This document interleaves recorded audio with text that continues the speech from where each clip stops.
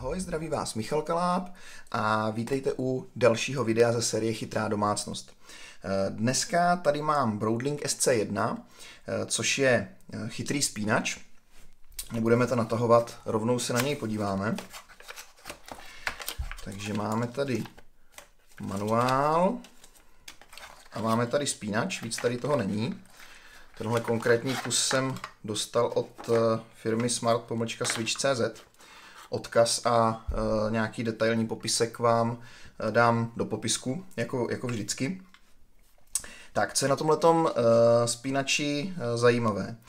Je to teda novinka, v tuhle tu chvíli je na něm hlavně hodně zajímavé to, že zároveň s ním vlastně vyšla, nebo skoro zároveň s ním, vyšla nová aplikace od, od Broadlingu, vy si určitě pamatujete, eh, jak jsem testoval univerzální dálkový ovladač eh, RM3 Mini, je to tady tenhle ten, tenhle ten kousek, což je hrozně jako dobrá věc. Pokud jste ten test neviděli, tak vám dám zase tady někde nahoru odkaz. Nicméně v rámci toho testu bylo vidět, že zařízení mě sice nadchlo, ale ta aplikace úplně dobrá nebyla. Uh, oni v podstatě ty aplikace už v té době byly dvě. Uh, jedna byla e-control, což byla ta, kterou jste vlastně viděli i v ukázce. A ta druhá byla uh, IHC, nebo tak nějak Intelligent Home Center, tuším, že to, že to, že to bylo celý ten název. A ta byla trošku lepší, ta už se uměla napárovat na Google Home, ale zase mě úplně nevyhovovala tím ovládáním. Oni mě teda nevyhovovali ani jedna.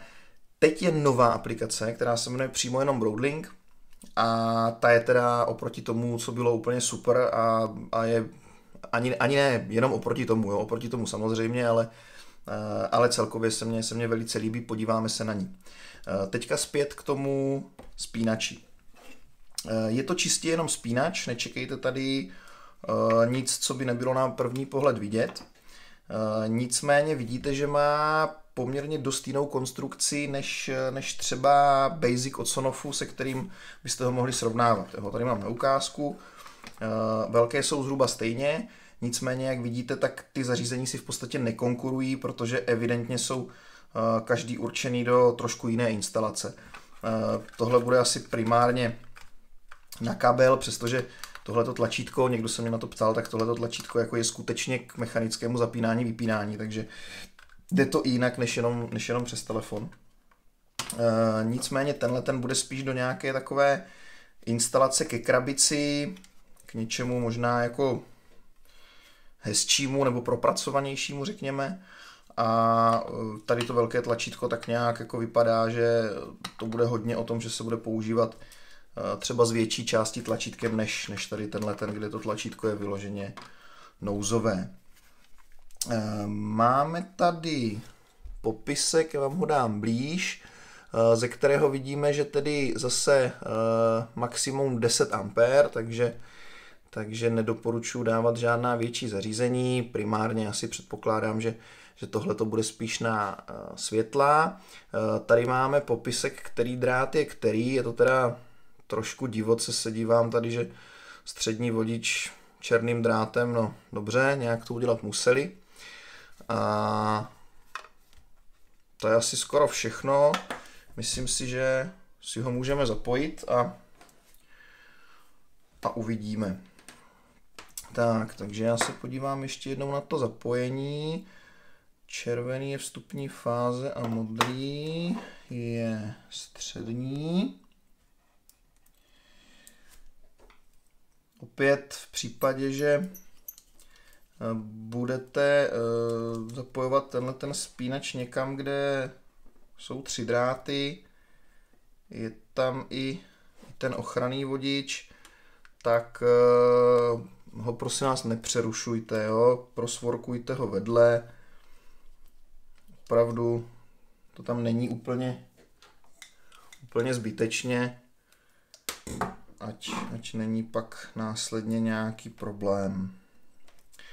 No a samozřejmě musím vždycky říct, že pokud eh, se na to necítíte, nerozumíte tomu, je lepší to zapojení přece jenom přenechat odborníkovi, tady konkrétně u tohohle toho zařízení přece jenom je to přímo z forkovnice, takže asi bych ji nedoporučoval nechávat takhle někde úplně volně, jak říkám, já bych to osobně dával spíš někam do nějaké krabice nebo, nebo do nějaké jakoby instalace, ale je to asi na každém. Tak, můžeme si zapnout prout.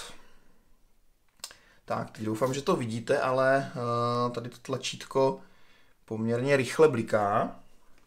A to je právě ta chvíle, kdy by mělo dojít uh, k jeho párování. Takže aplikace, mám to dám kousek blíž, jestli na ní vidíte nebo nevidíte. Takhle to bude asi nejlepší. Takže aplikace Broadlink, Eh, jak vidíte, mám tady napárovaný ten můj eh, RM Mini 3. Jinak, eh, když jsem přecházel z toho e-kontrolu, tak se mě v podstatě všechno na, na, napárovalo. Jo? Tam, tam bylo v rámci účtu jakoby záloha toho nastavení, ta se natáhla sama a, a fungovalo to. E, nicméně jsem stejně to nastavení smazal a udělal jsem ho znovu z toho důvodu, že tady tahle ta nová aplikace e, má krásně nachystané ty šablony pro ovladače, takže, takže jako opravdu, opravdu super.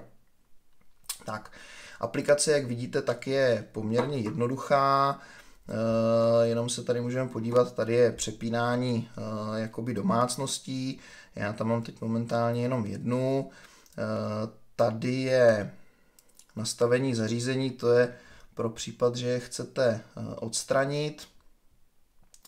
Eh, detaily nějakého eh, toho vašeho účtu, nebo účtu, no, nastavení v podstatě té, té aplikace. Tady v podstatě vás může zajímat tady to přidání hlasových asistentů, nicméně to je opravdu jenom ukázka, Eh, co se týká Google Homeu, tak eh, tomu jsem se věnoval podrobně v eh, jednom videu, takže dám vám tady zase, zase odkaz, jak se tohleto páruje. Teď v rámci téhle nové aplikace nemají ještě úplně dotaženo párování právě tady těchto těch dálkových ovladačů, takže to teď v tuhle tu chvíli, nicméně je otázka, kdy se na video díváte, ale to teď v tuhle tu chvíli nefunguje. Spínače eh, se eh, spárují normálně, fungují, to jsem, to jsem testoval s jiným spínačem, takže tam žádný problém není. Eh, a co je pak ještě zajímavé, tak tahle ta aplikace má u těch zařízení přímo tlačítko, to si pak následně ukážeme, na eh, přidání zkratky eh, vlastně pro Siri. Eh, to znamená, že kdo používáte zařízení od Apple a asistentku Siri, tak není problém potom tenhle ten ovladač ovládat přes, přes příkazy pro Siri. Pozor, nepleťte si to s tím, zařízení není přidáno do HomeKitu. Jo, to samozřejmě tohle to neumí, jak tady jistě vidíte, tak tady nikde, nikde kód pro přidání do HomeKitu není.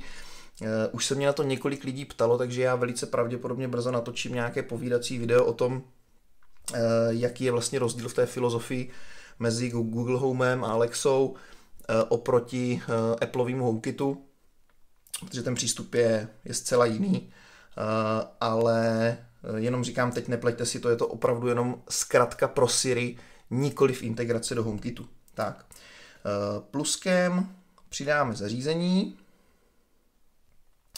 Eh, tady bych jenom podotkl, potvrdíme podmínky, že eh, je potřeba, oni nám to tady i píšou, eh, to zařízení párovat na 2,4 GHz Wi-Fi. Pokud máte doma 2,4 i 5 GHz a máte na každé jiný název, pak to není problém.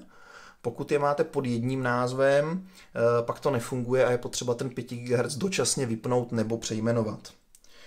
Tak, ve chvíli, kdy tohle všechno máme, tak tady potvrdíme, že jsme ukončili všechny kroky a on už nám hledá zařízení.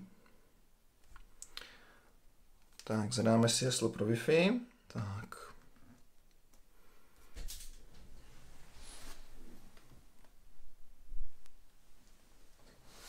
To bude pravděpodobně chvilku trvat, respektive se mi zdálo, že to trvalo trošku déle než... A, tak ne?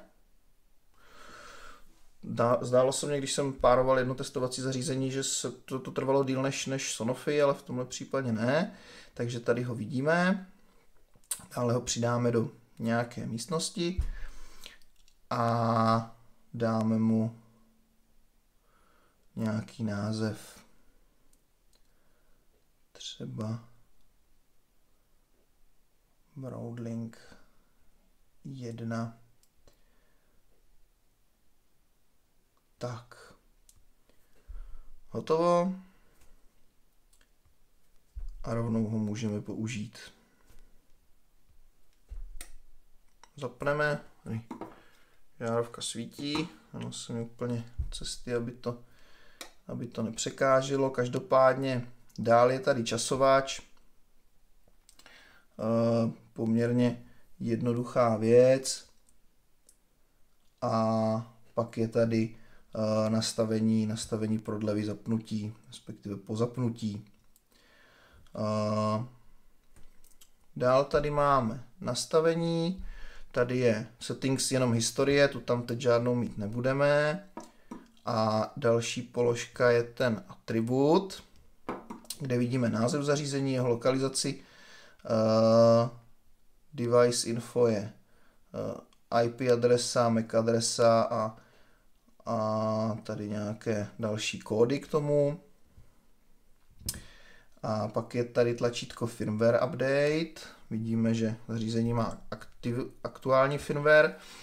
A tady přesně, asi pravděpodobně uh, z důvodu neúplně aktuálního iOSu, protože tohle je iPhone 5s, uh, eh, tak nevidíme to tlačítko pro přidání zkratky. Nicméně já vám teď dám prostřih, jak to vypadá, když se taková zkratka vytváří.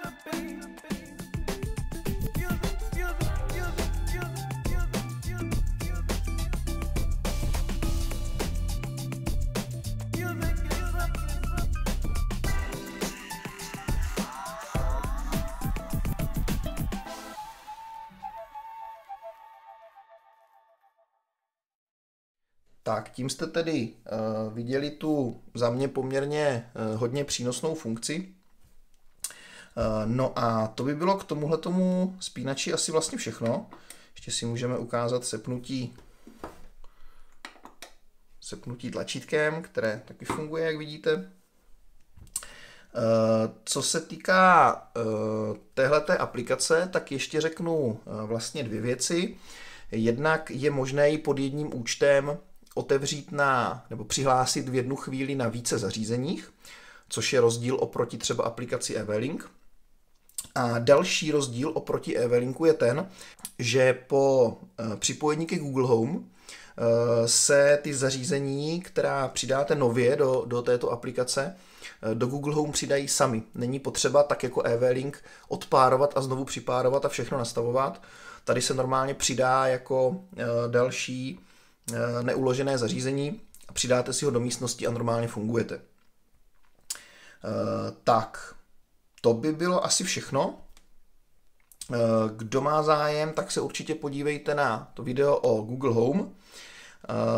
Rozhodně odebírejte můj kanál, ať vám neutečou žádná další videa. Příští chytrá domácnost bude tedy asi pravděpodobně o tom rozdílu mezi jednotlivými asistenty. No a uvidíme se tedy u dalšího videa.